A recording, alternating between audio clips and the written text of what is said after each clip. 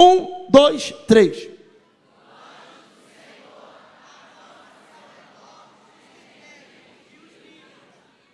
Mais uma vez. Um, dois, três. O anjo do Senhor acampa ao redor daqueles que o temem e os. E os. Fala, tem livramento hoje aqui. Fecha a Bíblia, mas não descarta ela da mão, que você já vai abrir em outro lugar. Eu só preciso da tua atenção rapidamente. Quando eu abro a Bíblia em Salmos, de número 34, o verso 7, você está tendo a plena ciência aqui agora que existe um anjo. Porque não está falando os anjos no plural. Quando fala plural, refere-se mais de. Aqui não está falando apenas. Não, aqui não está falando uma legião. Aqui não está falando os anjos no plural. Está falando o. Anjo no singular. Ou seja, tem um anjo que está 24 horas, que os outros chamam anjo de guarda. Tem um anjo que está 24 horas ao lado de todos. Não. Tem uma exigência. Daqueles que o amam. E amar a Deus não é dizer que ama.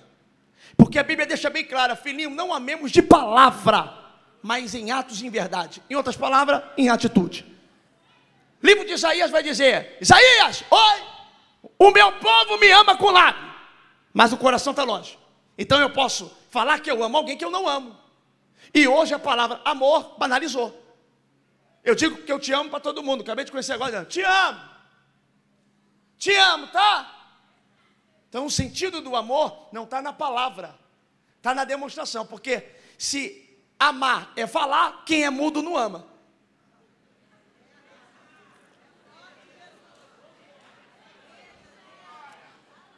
Porque não fala. Mas tem mundo que não fala que ama, mas demonstra mais amor do que aquele que está galera e fala toda hora que ama. Olha para o teu irmão e diga assim: ó, você só vai entender o verdadeiro amor quando você for mudo para o amor.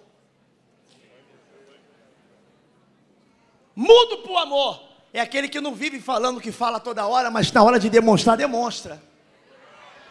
Porque tem um montão que diz que te ama e quando tu precisou te bloqueou no WhatsApp. Tem um montão que diz que te ama, mas quando você precisou virou as costas para você. Tem um montão que diz que te ama, mas no momento que tu pediu de oração ninguém orou por você. Tem um momento que tem um montão que diz que te ama, mas no momento que caiu acabou de te afundar. Tem um montão que diz que te ama, mas nunca fez nada para te ajudar. Então não ama. Mas tem um montão que nunca falou nada, mas sempre está presente no momento que nós precisamos.